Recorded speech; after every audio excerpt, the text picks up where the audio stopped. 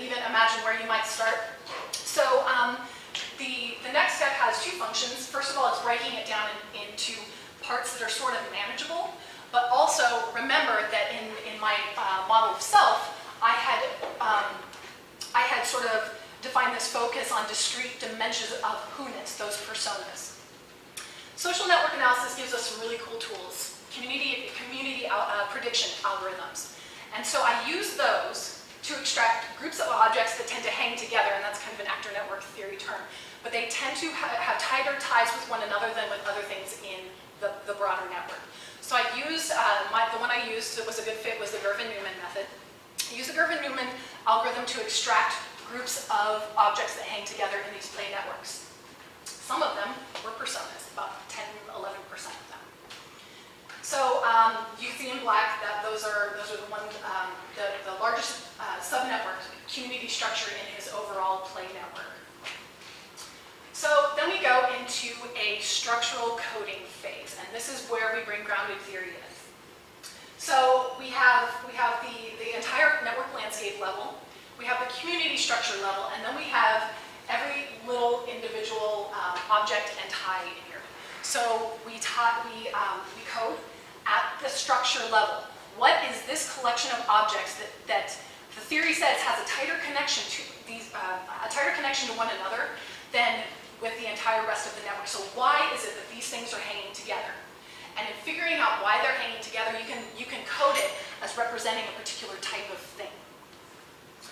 And then in the next step, within the, each of those persona networks, um, either, either doing it sort of all-inclusively and addressing every particular object in the network, or um, based on your questions, focusing, focusing on particular types of objects. For me, it was social structures and technologies. So friends being a social group, uh, that was one of the things that I would analyze in this particular person's um, accounts. And really, it's a, it's a pretty systematic, straightforward process um, taking the object friends. Friends is tied to hanging out. So uh, that one's kind of straightforward, but um, oftentimes are a little bit more complex and you have to bounce back and forth between the maps and the transcripts to make sure that you're interpreting it properly. Um, I collected a whole bunch of other data that didn't actually get formally analyzed, but was really important in uh, helping contextualize um, the, the data that I was examining. So um, if you're not familiar with grounded theory analysis, this is the, the Cliff Notes version. You have lots of data points. You assign them codes for what is, what is going on here. What does this data represent? Those codes you go through a round of reductive coding. They're reduced concepts. Concepts are reduced even further into categories. Um, then you look for, you cross-reference various um, categories, uh, cross-reference with theory to develop new arguments um, throughout the process. Memoing is a really important process in this, uh, or part of, part of this method, and that is uh, remembering that in that play moment, in that interview moment, the researcher is a node in the network. So documenting your own role in the research process is particularly important from this perspective. So just to give you an idea of um, numbers here, uh, almost 700 communities, reduced to 16 types. One of those was personas. Given my particular research question, I threw away the rest, or actually a nice little file on the side, and focused only on the persona networks. Um, I did a, a, further round of coding on the persona networks to try to understand exactly what was going on with the personas, what types of personas are being expressed in and around play, um, and, and really in terms of what emerged as important is that some were some personas were attributed to the player, some exclusively to the avatar, and some were being shared or could kind of flip, flip-flop back and forth. And so theoretically, that was what was important uh, to answering my question. And across 29 people, there were um, 11,000 unique objects in, in more than 27,000 relationships. And um, really, I, I, did not, like I said, I didn't address the whole range of potential objects in those. That's definitely uh, has room for future research there, but focus particularly on the ones that I could identify as social groups and technologies, because that is what my research question focused on. So how do you decide what level of coding you need to, to be addressing here? It's a matter of macro, meso, and micro levels of analysis. You have a pretty broad question you look at, and, and, and that's, I see them sort of as more um, descriptive, exploratory, what the heck is going on here in the first place. Um, those are, you're looking at the community structures and the relationships among them. If you're at the meso level, I examining particular phenomenon, just like I was interested in personas in particular, you will go to those communities that you've already ide- identified, coded at the meso level, you'll, you'll break them down and see what's going on there. And then at the micro level, that's where you go to the objects and the particular object relations. And it sounds kind of cloudy. Um, above the line was, was the first part of this study, and that was just thematic analysis. That's another good point, is that this is really, really flexible and can be combined with a range of other approaches. Um, this was thematic analysis for player avatar relationship types. I used it to sort of structure how I conducted the second half, but um, I mean, I'm, I'm addressing object level here, I'm addressing personas, and then basically this larger situational um, level. This thing takes forever. And this is why I'm working currently on figuring out a way that I might be able to make it more, um, more uh, less resource intensive, more scalable, um, working with different types of data, that sort of thing. Um, the particular power here is that it can open up silences. If you are, if, if I went into this study only thinking about avatars, I would, first of all, there's a, avatars are an incredible assemblage in themselves and have all sorts of things that I would have never even thought of that, that players experience as part of their avatars. The um, particularly important are headcanons, these stories that players make up about how their avatar fits in the world. Um, I would have never even known about that. So it opens up silence. These, um, uh, Graham Harman calls it the um, dark matter, and Bruno Latour is the missing mass um, the things that we can't normally attend to because we have these sort of blinders on. Highly interpreted, interpretive, depending on your school of thought, that's either good or bad, um, but it is very flexible and um, has applications across a, a, wide range of uh, studies. So currently I'm working on how to integrate both image and text. Um, I'm, basically I'm trying to expand the, the, the multimodality part of this. How do, um, how do we bring in screenshots and, um, and uh, players role play diaries, that sort of thing. Uh, I'm working to figure out if I, I also have all of these players, I have short stories from them, to see if we can extract the same types of things from shorter accounts than from these very, very long accounts.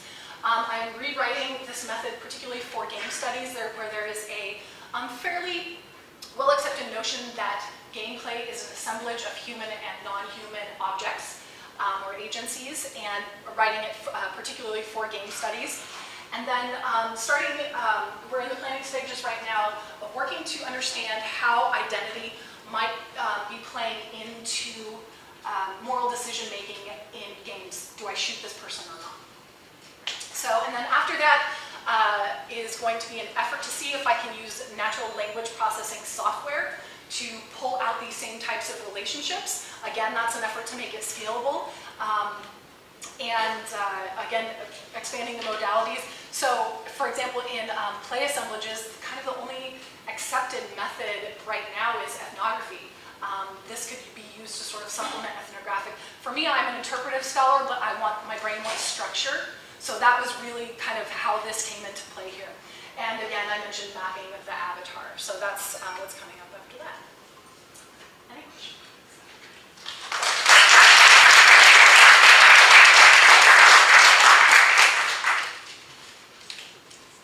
Sorry, you're the, you're the MC there. This is really fascinating. I'm wondering uh, when you start in- incorporating in gameplay aesthetics and, and these avatars, are you also going to be reading that against the, the long form narrative accounts to see whether or not they're actually actually differ from the way they describe them? I would like to. So I do have chat logs. I have combat logs. Um, I the, actually the interviews. There were two interviews. One that was only voice, and one that was voice and play. And so there are some very different types of language going on when we were playing together. Um, I'm currently I'm, I'm kind of lumping those both together, but uh, one of the other steps is to separate them out and see if there are particular types of assets that we can pull out of the gameplay record. Because it seems to me there's a, there's a, a, a, a question of what the object of study is here in terms of their, their narrative descriptions of themselves, as opposed to the way that you're actually performing it. That was the exact purpose of the play interview. Yeah. was to make sure that we were getting sort of not just the given, but the given off, if, if you will. And um, yeah, I think uh, I think you have a good point, and it's, it's definitely in progress. It's exciting. Wooly, then Matt, I asked, or I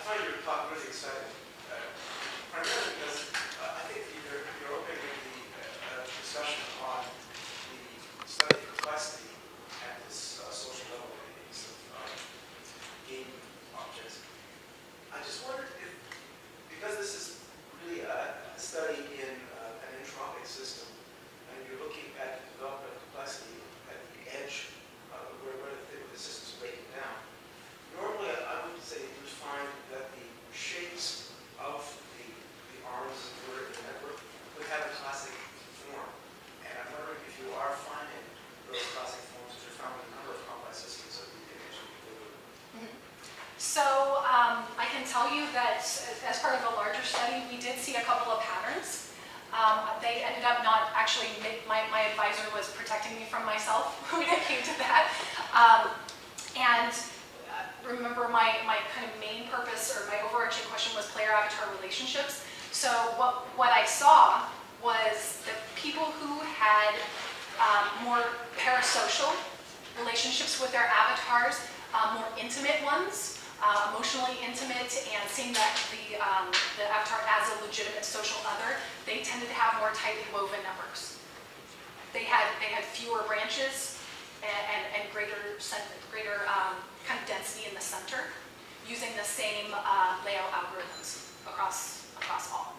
So that's, ex- yeah, that, that would be great to explore. Matt? Um, it seems like the, yeah, the self-identities of the networks can be very subjective in terms of how a person would envision a girl gamer network and someone else. And we also need different characteristics of the question, like maybe one player would self-identify as a girl gamer, another would not, and perceive that. that. So part of the decision that I made in this study was to not standardize uh, object codes across cases, specifically for that reason, because uh, even while I'm, while I'm taking this sort of detached group of objects, I'm constantly going back and forth between the visualization and the data to make sure that I'm staying true to how the player has described it, um, and, and sort of drawing on that, that phenomenology type um, mindset sensitivity. Um, I mean, that's what I was going for, was the lived experience of it, how they're describing it, not a standard standardization across cases. So the, at the beginning, you were talking about your idea of the self, and it, it seemed to me like it, it was a kind of uh, emergent multiplicity that, and that implies to me a kind of limit, limitlessness or boundlessness. Uh, but in the situations, you will be broken down into a finite amount of bits, or that's the way you describe it. So I wonder how you reconcile that boundedness, that boundlessness of the self and a finite uh, situation that can be broken down to a Sure. thing. So the, um, the bounding function in the interview process has two, two sort of controlling forces.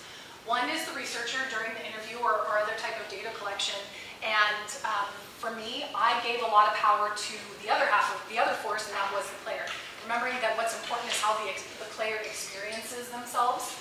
Uh, and, and of particular note is I wasn't particularly, I did ask some questions about identity and how, um, how do you, how do you think this, this avatar represents you? Um, or does it? So I did ask some of those questions, but largely it was around play in general. So whatever they saw as relevant was what counted as data. And, um, and then my role, actor network theory as uh, kind of a theory method package, puts a responsibility on the, um, on the researcher, um, understanding the full risks and implications of the researcher controlling what, it, what counts as the network. Um, for me, if, if, I, if I asked a question, as long as their question, or as long as their, um, their narratives sort of were in the same realm, that's cool. But if they if they started going off on their brother mo- brother's mother's raid three years ago, then um, I kind of after a certain point I stopped it and tried to drag them back into um, the the question, the root question. So it's kind of just a limitation because every object is in itself a complex network of other objects. It could, you're right, it can go on forever. So um, it's just kind of a, it's a responsibility that, that the researcher has to take to, uh, to define the boundaries and a rationale for defining those boundaries. Um, I have several questions, but I already emailed you. Okay. They're technical. But I have, I have one- one that uh, I'm curious about. Um, uh, Did you go back to any of the players to ask them, is this you? I did not do it in, in that form, like giving them the To visualizations. evaluate? Yeah, yeah. I did not. Um, I did do some member checks on concepts, like am I interpreting this properly, that sort of thing. Um, but in terms of the, the networks themselves, um, I was advised by multiple parties not to do that. So is there a way to evaluate this, that this is a self, actually? I, I think we could. Um, and I hadn't really thought about it, largely on the grounds that it would require training for people to, to potentially understand exactly what those visualizations mean.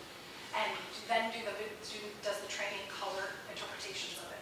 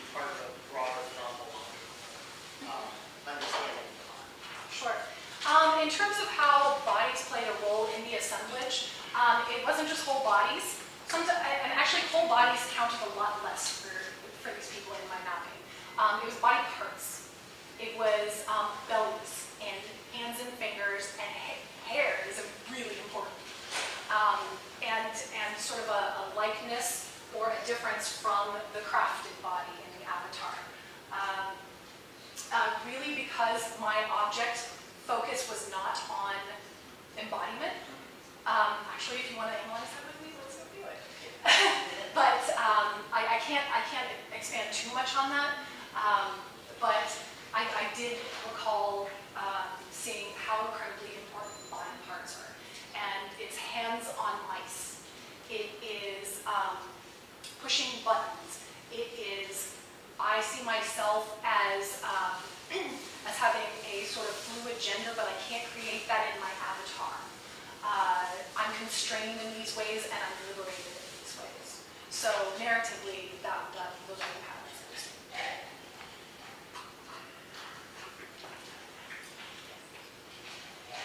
I was thinking about the notion of what happens in these networks. We go back to the famous dash in actor network theory. Yes. That's, that's what I what happens in the flows really between these you know, various parts, these points in the network. How do these people interact? Do we find something meaningful or important in the way in which the flows that happen between them? So when you say flow, are you talking about over time? Well, I'm talking about what happens in interaction between, because I, I noticed, of course, that the main contribution to excellent work, very, very interesting, is in identity construction. But I was uh, thinking that perhaps you see identity construction as something that happens not only through self-identification, or you know, role or persona identification, various means that we can service it, but also through the interactions between one particular player and another player. So I was wondering if there you had any uh, means of seeing any information in play between different people and you could, uh, uh, you know, sort of uh, think about the ways that the flows between them. So in terms of how other people functioned in these networks, or in the persona network specifically, um, what I saw, what basically what the meaning, the patterns and the meaning between um, so, social others, social groups or individuals and other objects, um, humans, human players and other humans functioned in persona networks as foils or as associations, really. And so what I saw was that avatars were much less often a, uh, a performance of a perceived self and more often rebellion against other people. Um, if I compare myself against, um, okay, let me think of an example. One of my players grew up in a Catholic family, and um, he didn't like that when he became an adult, so he made a Tauren, a Tauren shaman um, as an avatar. So that's um, based off of Native American culture, sort of an earth, earth-based spirituality, and so his avatar was a construction of rebellion against his childhood religious upbringing.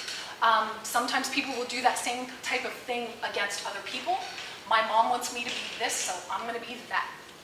Um, but then there were also affinities. Um, and affinities came out according to um, avatar names, um, guild names, and guild cultures, all sorts of different things.